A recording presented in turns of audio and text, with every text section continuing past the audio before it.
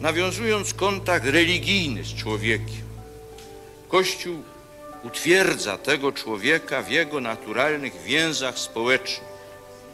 Historia Polski potwierdziła to w wybitnym stopniu, że Kościół w naszej ojczyźnie starał się na różnych drogach o wychowanie wartościowych synów i córek narodu, dobrych obywateli, pożytecznych i twórczych pracowników w różnych dziedzinach życia społecznego, zawodowego, kulturalnego.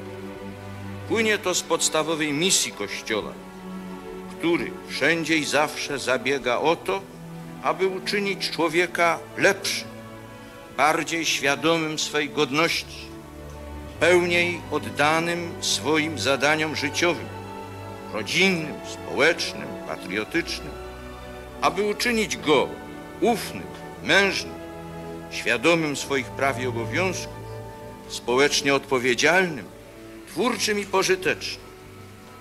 Kościół dla tej swojej działalności nie pragnie żadnych przywilejów, a tylko i wyłącznie tego, co jest niezbędne do spełnienia jego misji.